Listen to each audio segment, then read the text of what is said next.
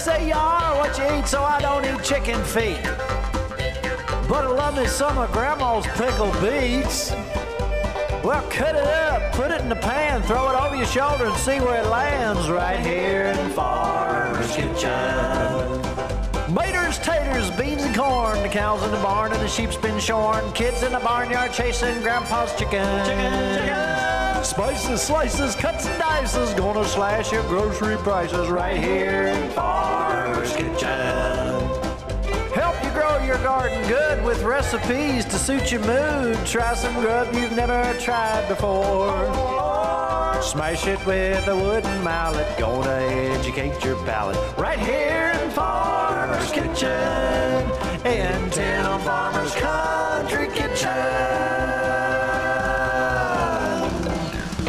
Cook something good now.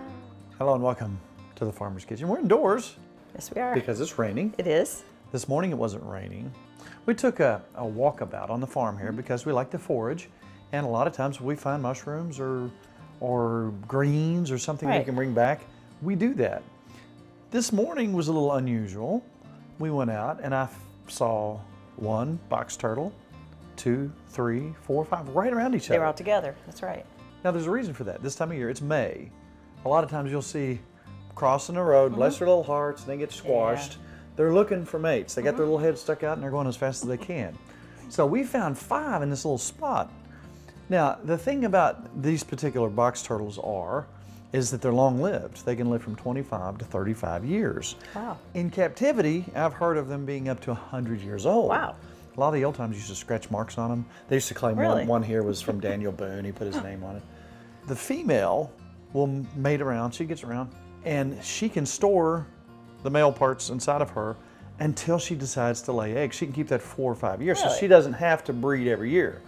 Now, usually she has up to five eggs. She'll Hmm. lay them and they'll come out just crawling out of the ground. They bury their eggs just like most turtles do. The male has a red eye. That's how you can tell. But it's unusual to see that many. Now, for those saying, oh, why'd they move them? We didn't move them. We're very conscious of, of where they are and what they do. When we're running heavy equipment, we make sure that we look out for them as best Right. we can.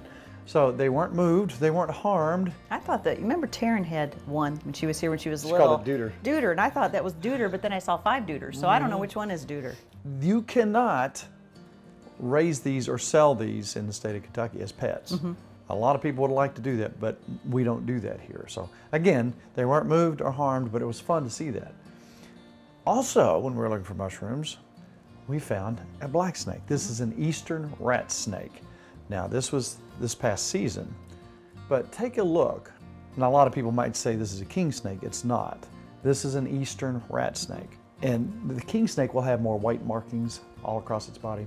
This is a beneficial animal to have around. They eat voles, mice, birds, eggs. If they get in your chicken coop, they will eat your chicken eggs Yeah. as well. So, eastern rat snake. I came up on, on this and almost stepped on him, Mm-hmm. and his tail was back and forth. I slowed it down. Watch this tail in slow motion. He's trying to act like something a little bigger and badder than what he is. And that really puts a lot of people off when they hear that tail. They would going. me. I would. I would not know.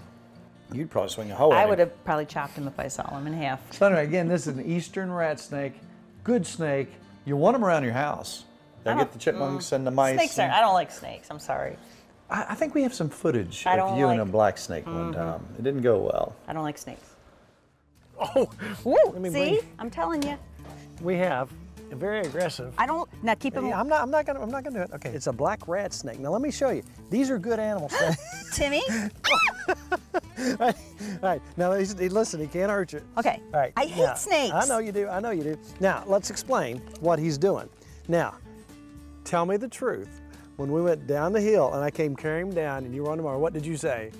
Where's my shovel? No, what'd you say? You said throw him in front of me. Yeah, because I, I- if I saw him, I'd run him over. My grandma, if she had any kind of garden tool on her and a snake came, you used it. All right. Now, let's explain. He's- he's making noise. See his tail? He's rattling his tail. Do you know how many times that gets that gets that poor snake killed? This snake. Now you can see a little bit of pattern on him. Listen, listen to his tail. Watch his tail shake. He's ready to get me. no, he's not going to get you. He's already bit me twice, but they can't hurt you.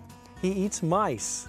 He eats rats. We could catch those with the trap. Now, he is a farmer's friend. They used to keep these around silos and places mm-hmm. like that because they really do take care of the critters that eat, you know, your corn and things like that. Look at the shape of the head. Notice that it has round pupils. A poisonous snake will have elliptical pupils. In the United States, there's only one poisonous snake that has round eyes, and that's a coral snake. Elliptical is like a cat, you know, the up and down. They also have heat sensors, or they call them pit vipers. They have pits. So he's only got his little nose holes that he breathes through. He's very cranky because he can't see too well. And you notice he's not real, he's not trying to take off because he can't see. I'm gonna put him up here by the porch somewhere and hope he gets in there and gets our little mice and all those little critters. And maybe can scare people as they come over. That's nice. You sure you don't wanna I'm, him or I'm kiss him good. He can stay. You Hey, good? hey, hey, hey. I'm gonna take him and let him go. All right. Now, most people would not imagine that you would ever want to have this around your house. I agree. Because I want it here. But that being said, that's what we've seen around the woods lately. We have been outside some today, so I called Kelly and I called Nikki, and I said, "What do you want for dinner tonight?" We were good last weekend. We had pasta with mushrooms. Didn't Yeah. even have any meat. We didn't go freezer diving. We went to the store to see what was on sale, and it was pork chops, boneless pork chops. Yummy. So tonight we're gonna make something really good. We're just gonna spoil ourselves tonight. Now this is olive oil. Again, we try to fry with olive oil as much as we can. So it's not guilt-free, but it's pretty daggone close. That's right. All right, so now you've probably seen this before, but we're gonna take this pork and I've already tenderized it to some degree. And I'm gonna put it in flour. I've got some seasoned buttermilk here with some egg. Got some good Tellicherry pepper in there, my favorite pepper. I'm gonna make sure that gets on every bit of that surface. Then I'm gonna come back with my seasoned flour, and you can use whatever kind of seasoned flour you like. The seasoned flour will adhere to that egg, so we get this all ready to go. Get it all seasoned up. We've got our oil nice and hot. And what do we have here, Mrs. Farmer? Yum, Papa. You If smell it? same- I do. That, that, that seasoning smells good. you can put anything in there you want in your seasoned flour. You can buy pre-prepared stuff or make your own. Now she was really on fire for what she wanted today. You wanted a sandwich I with did. I want pork. I want Swiss cheese. I want coleslaw. I want barbecue sauce. Even pickles. I want pickles. You even said let's slice some pickled beets and put on that sandwich. Yes, that would be delicious. So now, as I'm fantasizing about this food that will be in front of us shortly, you know, food is an adventure. Mm-hmm. You shouldn't be stuck with the same old thing every day. You should start experimenting with things that you've never had before, and you find these combinations. Then you'll use it over here, then you'll use it over there, and you think, okay, this would work over here. Then slight variations to suit whatever recipe you're looking for. And next thing you know, you're making your own stuff. Oh, now, this is easy. This is a sandwich. But we just started thinking about all the things you could put on a sandwich. This is my favorite way for you to make pork. Oh. I love it like this. It's tender and delicious. So as this is slowly turning golden brown, let's talk about something else in the woods right now. I've seen a lot of people talking about pokeweed, poke. Mm-hmm. Some people fry it, some people boil it and make greens out of it. Here's a big caution sign. See this? Boop, boop, boop. Watch out. Every part, every part of the poke plant is poison Really? root, stem, leaves, berries. Some people can brush up against them and have a horrible reaction, allergic reaction. Every part of that plant is poisonous. I don't think I'd touch it. Well, I would recommend if you don't know exactly what you're doing to stay away from it. Yeah. The people that do eat it, and I've eaten it and I enjoyed it. But here's what I know, and here's what the old timers would do. Some people would say, boil it for 10, 20 minutes, two to three times. So each time that you boil it, change the water. The toxins Really? come out, yes. So the toxins come out of that leaf, and, and the toxins are, are pretty serious toxins. So why even mess with it? Well, it's tradition, and a lot of folks around Kentucky here love it. I love it. But like I said, proceed with caution. If you have never done it before or don't know how to do it, I would highly recommend you not do it or have somebody do it that knows what to do. Yeah. So again, I'm just tenderizing that pork straight to the flour, no seasoning. Oh, I'm looking so forward to this. To the egg wash. Make sure every little spot is covered. Now to the seasoned mix. Make sure you get all that covered because you want that golden brown seasoning on there. Those look delicious. All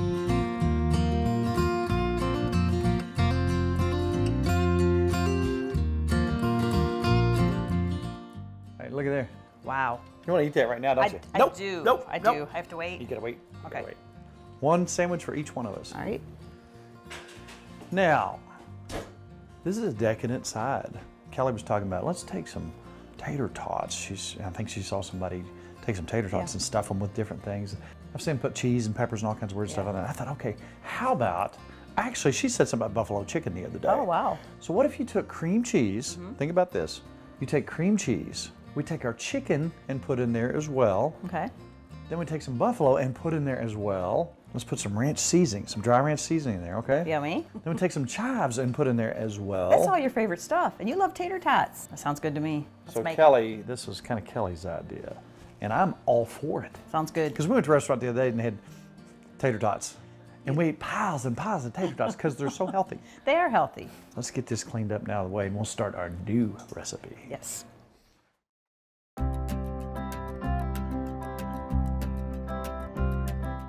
Tonight, I just want to be totally ornery. I like when you're like this.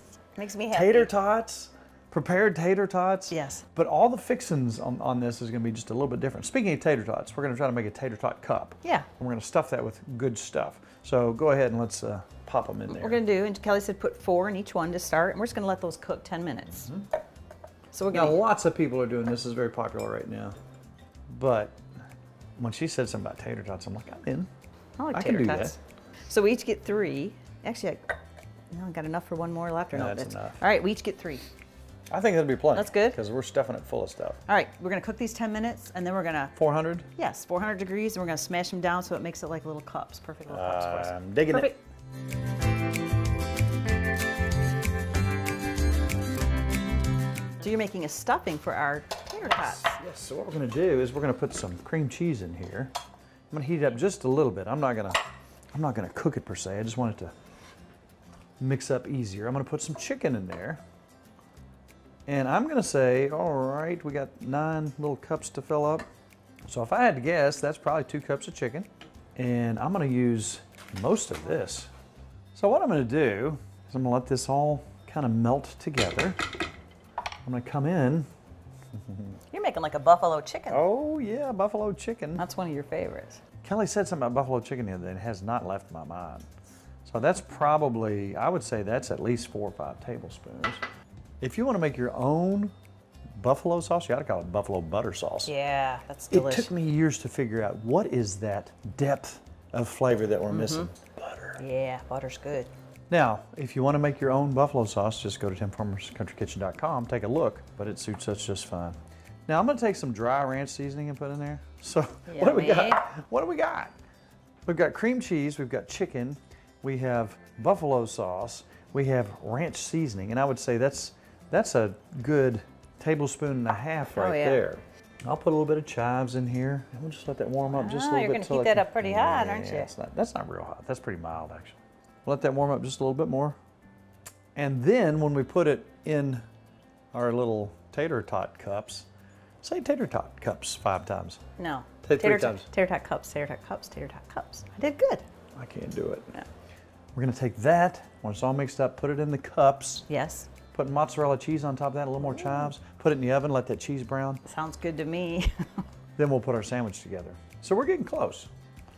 All right, now you see how everything's kind of, I'm flinging everything all over the kitchen here. Looks good. Smells good. Have you tried it? Did you taste it? Not yet, I know what it tastes like. Okay. So there's what it's gonna look like when it goes into the tater tot cup. Yum. Tater, tater tot cup. Yes, tater tot. You did good. Tater say, tot. It, say it five times. Tater tot cup, tater, can't do it. Look at that. Yummy. That's kind of beautiful. Yes, it is. And the smell is just outstanding. Now, if you wanted that a little hotter, you can put some red pepper flakes in there. I think it's hot You put enough. some jalapeno I in think it's hot you can put some bacon in there. You put whatever you want. Yes. But we're gonna. Oh, are you excited? I'm very excited because I'm starving. How long we got? Like a minute. All right, so let's get a system going here. You take your bigger thing first, Yeah, and this is like smash them. this is like a quarter one of our quarter cup measuring. Say cups. smash. Say smash. We're gonna smash these. Smash. Smash. Smash them down. smash. That's how you say it, isn't Smash. it? Smash. Smash. That's Kentucky. Smash. And you say smash. Smash. That's Michigan. This is quarter cup measuring cup, and then a little shot glass. That might work. I'll smash it. Ooh, right to the bottom. How does that look? Beautiful. I think they're cute. They're not perfect, but look at, we're just making little cups here. I think they look good. Nice. What do you think? Wait till they get This that is in them. this is kind of fun. We're gonna crank that up to about 450 now. Shape these up as best you can. Let them get good and crisp in there. I think they're cute. They're cute. And they're tater tots. Three each gonna be enough? tot. Is that gonna be enough? Yeah. All right. We're having a huge sandwich. All right, I'm gonna put these in for another 10 minutes. Another 10 minutes. And this is 450. 450.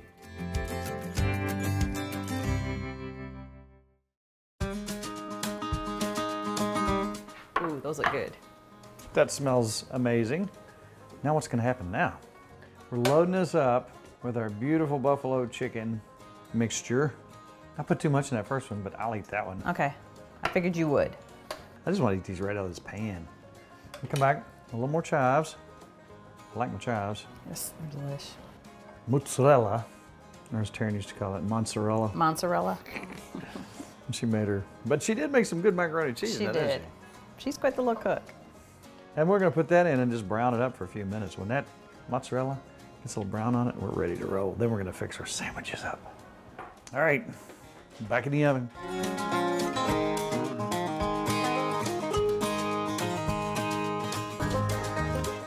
Oh, would you Yum. look at that? Now at this point, you can come back with a little more cheese if you want it. Ooh, those look delicious. Now, you know what's gonna be fun later? Hmm. I'm gonna take that mixture that we still got the chicken and stuff, and I'm gonna dip crackers in that. You'll eat all night long, won't you? Oh yeah. So what we're gonna do is put our bread in the butter Yummy. for extra flavor. Just get a little bit of brown on there. See where we're going? I do. So when we thought about this, we just thought about it dripping mm-hmm. with all kinds of stuff. We got our beets, we got our pickles, we got our barbecue sauce. By the way, here is our lunch lady coleslaw. I begged this lady to give me this recipe probably 30 years ago. Here it is right here. All right. So there's your third of sugar. And that's your third of white vinegar. And a whisk makes it nice. And let's not forget our mustard. If you like that sort of thing. Some people do, some people don't. But that's the base of the recipe. You'll have a great coleslaw right there. Now see how it gets that little yellow look there? Oh, oh. it depends on how much you want in here. Some people like theirs a little dry. Some people like theirs soupy. Every bite, I want to have some in there. I want to be able to taste that sauce. Is that perfect? It's perfect. Southern lunch lady coleslaw. I like it. Look at there. Now that's the way a bun should look. Yummy. Look at that. Those are perfect. Beautiful. You ready for your pork? Yeah. So one thing I want to do right off the bat, on the top, I'm gonna put some barbecue sauce. Yummy. I want quite a bit of barbecue sauce. You? I do. I love barbecue sauce. All right. I'm gonna take a piece of my ooh, Your pork? chicken fried pork. Ooh. Then on top of that, I'm gonna put our lunch lady coleslaw. Yum. These are some sweet and spicy pickles. Yummy. Ooh. That's a big sandwich. That is a big sandwich. And you want cheese. You I always want want cheese. cheese. I'll put that on top. And you want a beets. I do. I love beets. All right, let's do it. Let's put a couple beets on there. We're gonna smash this all together. and look what we got. Oh my goodness. Yay. Whoa.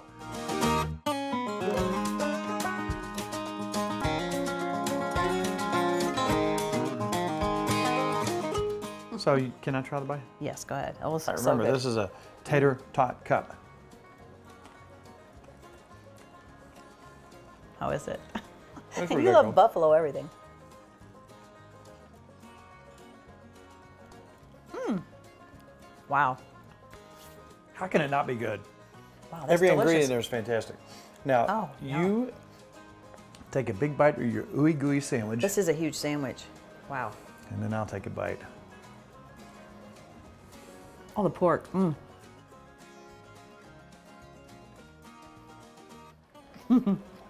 Oh, wow. Wow, that's delicious. Mmm. That's a big Mm. sandwich. Now, I'm telling you what, that's a fantastic kind of a spicy, Oh, sweet yeah. mixture. And we're going to follow up here in a minute. In a minute, we're going to turn the lights off and eat this. Mm-hmm. I'll fix you one too. And then we're going to come back with my favorite. It's so simple, there's nothing to it. But when she makes my oatmeal cookies, how many can I eat, honestly? I'm only making a half batch because you eat all of them. If I made them all, you might. How I don't want all? you to get sick. How many's all of them? You're gonna have a. It's probably a little over a dozen or two. So we'll see how many I get But they're really it. thin. Whatever. So there's that. Okay, we'll be right back after we take a bite here, because this is our dinner. We're not faking it here. You deserve dessert. I do. Yes, you do. Oatmeal cookies, Nikki style. All right, let's eat cats. I have never watched you make these. Tell me why. Because you're always playing music or working on something. And what do I say from upstairs or downstairs? You say boatmeal buddies. You call- Please make me some oatmeal cookies. That's right. And she says, okay. You have never said no. I haven't. Because I actually like to have a bite or two myself. You like chunky men, don't you? Yes, I do. so these are fantastic. It's so simple. Mm-hmm. I start with a half a stick of butter, which is half a cup. So if you want to go ahead and get that mixing for me, I let it Half it. a stick or a whole stick? It's a whole stick of butter, but it's half a cup. Sorry. Ah, gotcha. Yes. Gotcha. And it's room temperature, so it's in pretty good shape there. So Hey, you know, I just thought of something. I know. I'll know how to make these now. So you will. I, I won't have to do it. You can make your own. I'd rather you make them. All right. This is so simple. Half a cup of sugar. All right. We're gonna add that in. This is only a half bunch. Yeah, that's what I usually make you, and you eat them all. I do. Half a cup of brown sugar. All right. Put that in there. I'm gonna add one egg. All right. So that's where all that brown sugar taste come from. Mm-hmm. Some vanilla. We got a half a teaspoon. And it's pretty easy because it's the easy. Everything's half a teaspoon. All right, let's get that all Oh, creamy. yeah. I smell it. Turn up a little and cream that up real good for us. That good? Yep. All right. And now we're, this is one cup of flour. That's all we need. And we're going to put half. You're playing with the mixer. Half a teaspoon of baking powder, All right. cinnamon. I'm to do half a teaspoon of that. So this is this is what you make me every time. Yeah, this is just a basic, and there's so many different recipes. This is what I make you. Okay. Half a teaspoon of salt. Remember last time you didn't make that many? We were making some kind of cookies or something, and um, you told me not to eat them because you were saving them for something. Yes, and you ate them all. I got you, and I got Kelly. You did. I can never get Kelly. You won't do that she again, though. looked. We'll never do that again. All right.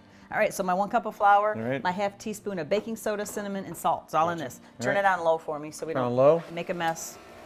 And I'm gonna slowly add this in. And I have the oven at 375. Well, we should have made a whole batch. That's all right. That'll be enough for you for the night. Go for breakfast. Turn it off. Oatmeal's like cereal, That's right?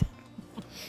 we're gonna go ahead and take this off here now because now we're gonna add our oatmeal to it. And you like raisins, so we Oh, always yeah. add. Some people add nuts, but I know like you love the raisins. Oh, I love the raisins. All right, this is my mixture. I have one and a half cup of oats here. Okay. Like I said, you can double this. I'm just Yes, you could. doing you a half one because I'm trying to watch. You got stay to watch- healthy. watch my weight. There you go.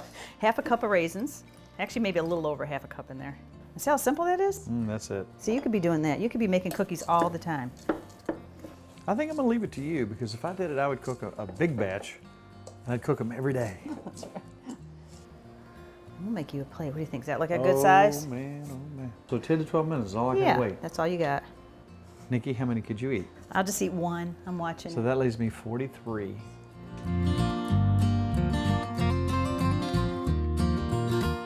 okay. just pop them in, I only got 10 here because I'm thinking that's what you need. Now, I can make you another 10 for tomorrow. How's that? Tomorrow, You want them all tonight? All right. Well, let's see how you do with these. Let's get right. these cooking. I bet I can do it. Oh, my belly's rolling. I'm starving. I Haven't had Are you anything to starving? eat for like Poor 10 baby. minutes. Look at that. All right, we can let them sit. 'em I'm gonna put them on here for you. How about I do you a little row? How's that? Yeah. How about a big roll? All right, there's four. Do you want more? Let me go ahead and load it up. Now see, those aren't that big. No, see, I made them little for you. And it's so- oats. It's like cereal. exactly. It's like I didn't eat cereal this, morning. This morning. is super healthy. Fiber. See, I'm leaving two here so Kelly and I will at least get a bite. That's your roll. How's It that? just takes just a minute for them to get like hardened up. That's right. But they're still gooey. they look beautiful. Look at that. I think if something really bad happened and all there was was oatmeal cookies to eat, I'd be just fine. You would. Can I time you as you eat them all, or are you gonna be eat just I'm, one gonna, I'm not gonna. I'm not gonna show right. what a how bad I All am. right, go ahead. Just eat one. Are you okay? The brown sugar makes it. You like that? You never don't like. I don't care how I make Mm. these cookies. You like them. I could change the recipe every day, and you still love them. No, that's your recipe. I recognize it. See how dainty I'm being? You are being dainty. You're eating slow. What's up with that? Okay. Okay. This was a wonderful, fun meal. Mm-hmm. Just fun stuff to eat. But, Mrs. Farmer, if some person came up to you and said, so kind and respectfully, Mrs. Farmer, Mm-hmm. where would I get all those recipes? What would you say to them? I say timfarmerscountrykitchen.com. I've been there because I forget how much I put in stuff and I have to look it up. Yes, me too. And also, if they want to join our Facebook page and show pictures of their meals, Mm-hmm. like every Monday, people show pictures. I, I love looking at their stuff. Yeah. And they want to join our Facebook page. I know it's terribly difficult. What are the steps you have to go through to do that? You hit like. That's it. That's it. It's pretty simple. I have no choice but to take these upstairs. I can't believe you left this little piece here. Well, I had to You're talk. trying to be? I had to Okay. talk. All I had right. I'm gonna take these upstairs and quietly and peacefully Yeah. make every one of those disappear. I say I'll make you another tray and then I'll bring your dip up because you're gonna. It's a long, gonna be a long night, isn't it? It is. We might have to watch a movie okay. or two. Okay. So thank you for joining us tonight. That was a quick half hour. Mm-hmm. Our bellies are full. That's right. Almost. And it's all about Good times. good friends. Really good eats. We'll see you next week on The Farmer's Kitchen right here.